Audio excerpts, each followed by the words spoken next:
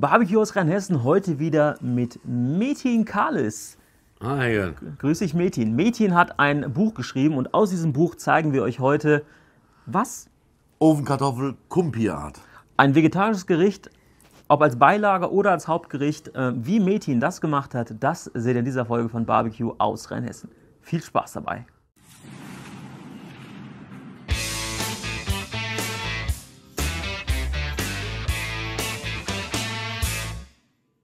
So, hier haben wir jetzt die Zutaten, die wir für unser nächstes Rezept brauchen. Das sind Ofenkartoffeln Kumpia-Art. Exakt, das ist ein Streetfood im Endeffekt äh, aus der Türkei. Klassisch, gibt es schon äh, ewig, wollte ich schon fast sagen, Jahrhunderte. Das sind mal Kartoffeln hier. Die habe ich vorgekocht übrigens. Also ähm, da auch wirklich ein bisschen Zeit mitbringen. Und ansonsten ähm, hat mich Mädchen also auf die Einkaufstour durch den türkischen Supermarkt geschickt. Und wie ihr seht, ich habe eigentlich so den ganzen Laden mitgebracht. Also, jetzt mal, nee, also wir haben hier Tahin, das ist Sesampaste. Dann haben wir Kökelek, das ist ein äh, Weichkäse. Ja, ein, ein, ja, im Prinzip bröseliger Weichkäse Exakt, ist das, ja, ne? ja. Genau. Und ähm, ansonsten haben wir hier jede Menge äh, Gewürze. Wir haben Kumin, wir haben Kurkuma, wir haben Fenchel, wir haben äh, äh, Oregano, wir haben Sumak. Sumak, wer es nicht kennt, äh, das ist ein leicht säuerliches, Erklä- Das ist die Frucht vom Essigbaum. genau, Und, leicht äh, säuerlich, ja. Den gibt es immer gerebelt, genauso wie auch äh, äh, zum Beispiel den Isot, das ist der fermentierte Paprika. Das sind so zwei Gewürze, die äh, eigentlich standardmäßig in der türkischen Küche vorhanden sind. Ja, rote Zwiebeln mit Sumak, Leute, ich kann euch sagen, ist ein Knaller. Das- Genial. Ja. So, und was haben wir denn noch? Also Estragon hatten wir gerade schon gesagt, Minze haben wir noch. Oh, Ja. hinter, der, hinter dem Granatapfel, Äpfelchen, haben wir noch Datteln.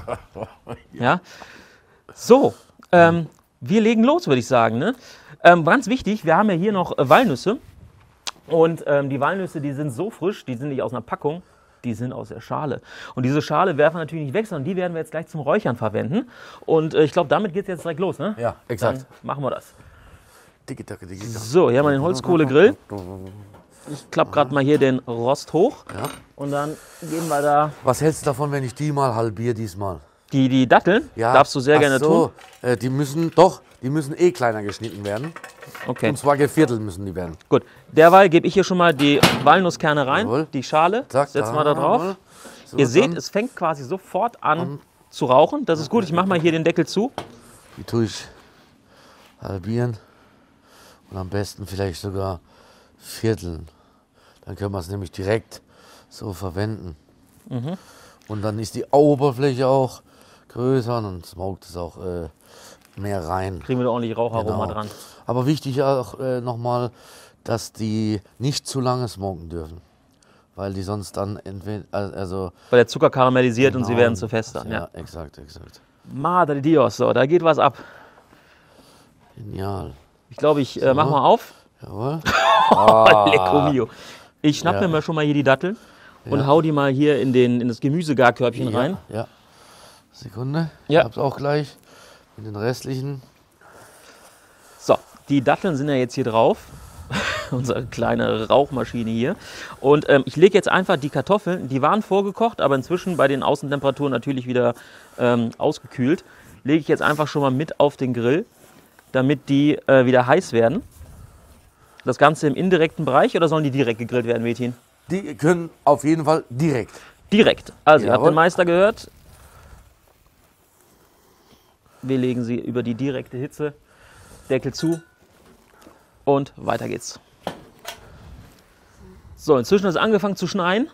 Ein Traum zu grillen, sage ich euch. Da sind unsere jetzt geräucherten Datteln. Die nehmen wir mal runter und geben sie hier in die Schüssel.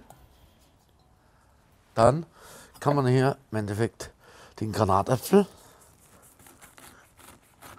sachte halbieren. Und dann gucken wir einfach, dass wir den in eine separate Schüssel ausklopfen. Ich nehme da einfach den Messerrücken und klopfe dann von außen auf die Schale. Und Ah ja, dann da fliegen die Kerne. fallen dann die Kerne automatisch raus. Man kann natürlich auch einen Kochlöffel nehmen oder was anderes, ein äh, Wettstahl oder wie auch immer. Ne? Also Ja, aber das scheint ja zu funktionieren, was du da machst. Das habe ich so noch nie gesehen, aber es funktioniert auf jeden Fall. das funktioniert ja auf jeden Fall. So, wir schauen mal gerade ganz kurz nach den Kartoffeln. Die kriegen jetzt schon. Ja, hatte ich erwähnt, dass es schneit? Unfassbar. Ey. So, jetzt habe ich hier meine kleine gusseiserne Pfanne. Hier drüben haben wir auch einen Kohlekorb. Und da haben wir jetzt hier die äh, Walnüsse, die wir ja gerade eben frisch geknackt haben. Die wandern jetzt hier in die Gusspfanne rein und werden darin geröstet, während hier drüben auf der Seite die Kartoffeln weiter heiß werden bzw. heiß sind. Dann hier einfach die Blätter vom Estragon etwas abzupfen und dann die Minze ebenfalls die Blätter zupfen und dann beides jeweils in kleine Stücke zupfen oder schneiden, wie ihr mögt. Und dann habt ihr praktisch relativ einfach die Kräuter am Start. So, hier einfach in kleine Stücke dazu zupfen. Man kann es auch noch mal kurz ein bisschen andrücken oder ja, dann äh, entfalten sich die ätherischen Öle besser. Und dasselbe eben mit der Minze. Zack, die Blätter weg. Und hier aufheben. Ebenfalls, das reicht so eine halbe Handvoll Blätter. Und dann einfach so in Stücken ebenfalls hier zu den Datteln dazu.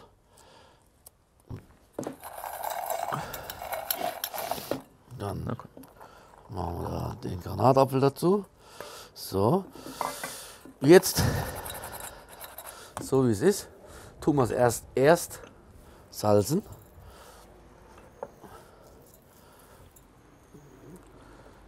Und etwas zuckern und lassen es mal ein paar Minuten so einwirken. Dadurch entfalten sich die Aromen besser und schmeckt besser und man hat mehr Spaß dabei beim Essen, weil es einfach intensiver schmeckt. So, dann die Walnüsse rein und vermengen.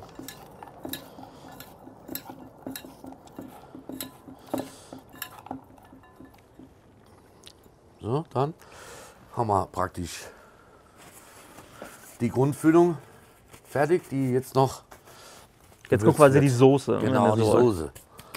Kommt jetzt noch mit dem Tahin. So, Tahin, das ist eine Sesampaste. Genau.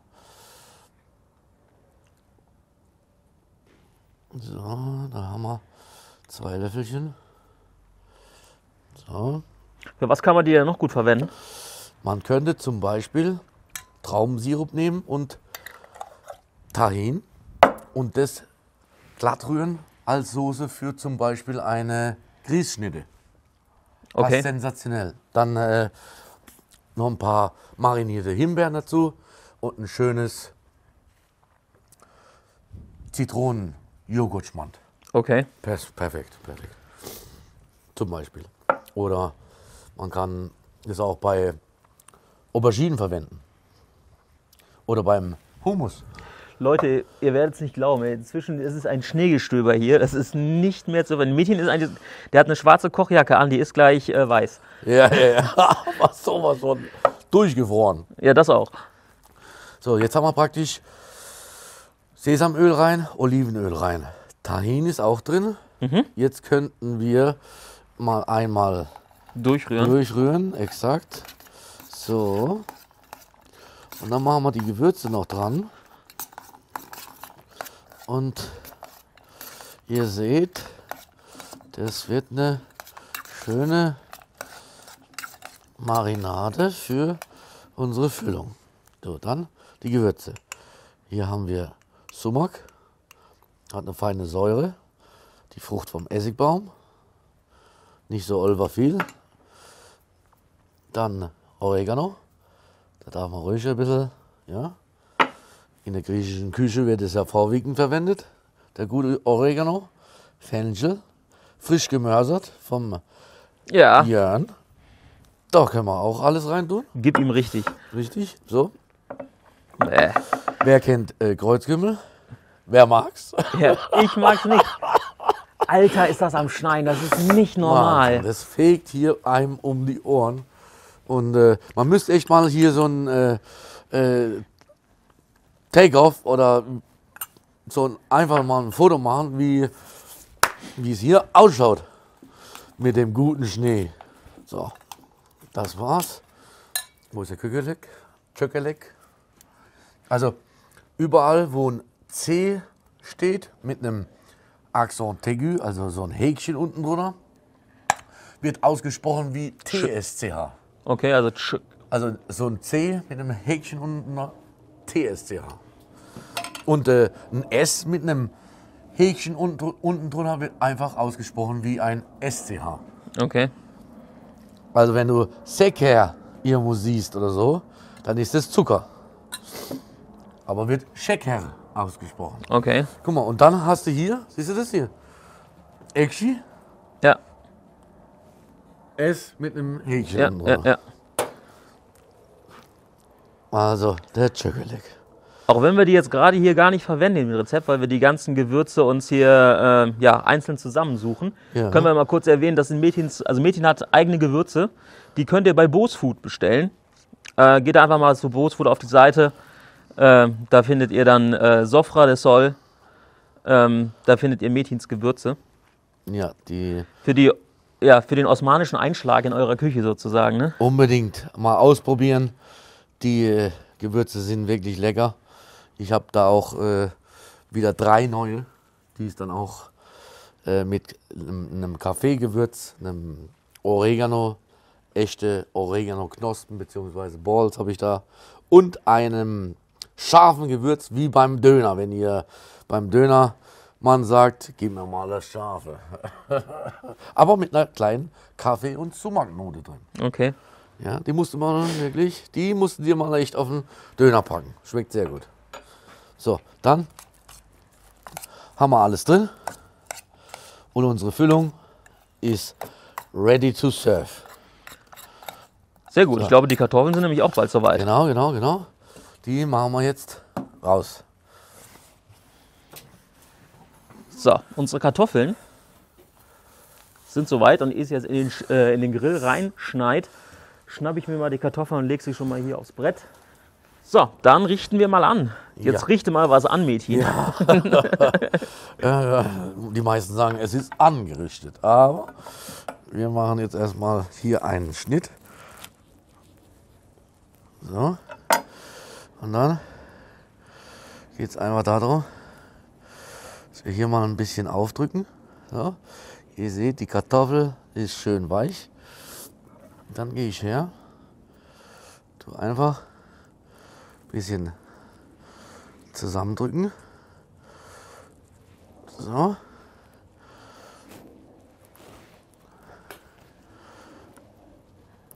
So. So. Gibt es so einen richtigen, fast wie ein Brei.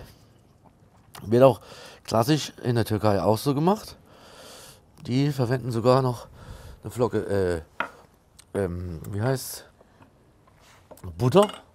Ja, dann gibt es einen schönen äh, Kartoffelbrei da drin.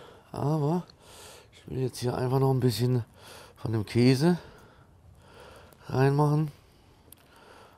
Und dann kommt die Füllung schon oben drauf.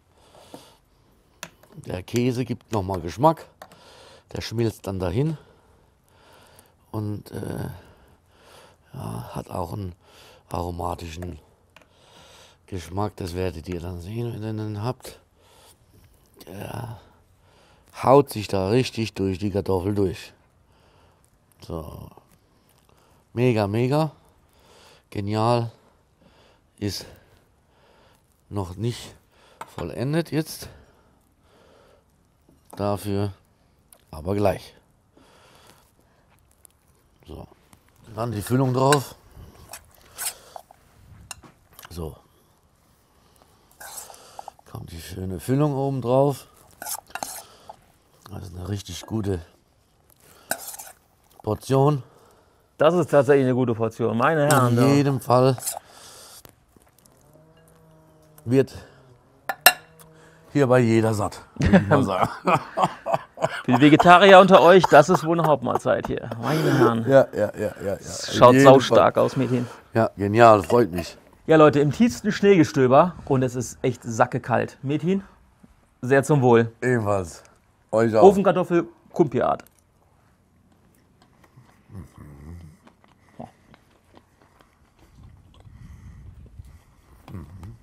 Ich bin ganz ehrlich, ich kann die Geschmäcker gerade noch nicht zuordnen. Die Dattel habe ich, die ähm, Granatapfel habe ich auch. Die Gewürze.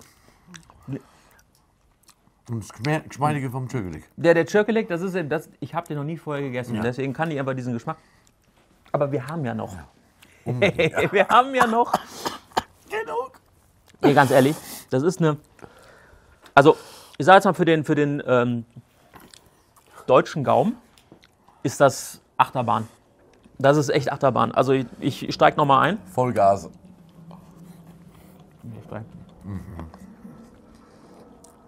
So, eine Kartoffel macht das Ganze nochmal richtig gut. Eine gescheite. Ich habe Kartoffeln noch nie so gegessen. Ja, Leute, das freut mich. ey, ganz ehrlich, das ist. Es ist was völlig anderes. Es lässt sich einfach jetzt auch wirklich schwer beschreiben. Ich werde die Süße von den Datteln, die leicht angeräuchert sind. Der Schnee, der einem ins Gesicht bläst. Nein, aber jetzt mal ganz ehrlich. Ähm, äh, es ist so habe ich noch nie Kartoffel gegessen. Das ist tatsächlich eine Sache, die man so machen kann und sollte. Ganz einfach auch, ne? Ja, man hat schon ein paar Zutaten, aber es ist einfach mal was anderes. Und das kann ich euch wirklich nur ans Herz legen. Falls ihr Bock auf mehr andere Rezepte habt. Metin hat ein Buch geschrieben, Link dazu unten in der Videobeschreibung. Türkisch Grillen heißt es, gell? Exakt. Und ähm, da sind jede Menge Rezepte drin und schaut euch das gerne an. Wie gesagt, Link unten in der Videobeschreibung. Ich hoffe, euch hat das Video gefallen. Wenn dem so ist, freue ich mich wie immer über einen Daumen nach oben und einen freundlichen Kommentar. Solltet ihr noch keine Abonnenten meines Kanals sein, da unten habt ihr die Möglichkeit, gerne auf kostenfreie Ehrengrillerbasis das zu ändern. Alleine schon unseren Einsatz mal zu würdigen, dass wir hier in uns den Arsch abgefroren haben. Leute, Wahnsinn. Vollgas. Ähm, ja, äh, Instagram. Metin ist bei Instagram. Metin-Kalis. Instagram. Barbecue aus Rheinhessen. Auch sehr gerne vorbeischauen. Das war's für dieses Mal. Vielen lieben Dank fürs Zuschauen. Schaut euch auf jeden Fall das Buch von Metin an. Unbedingt. Ich brauche jetzt einen heißen Kaffee. Macht's gut. Euer Jon von Barbecue aus Rheinhessen und Metin Kalis. Bis dann. Rock'n'Roll. Ciao. Jawohl.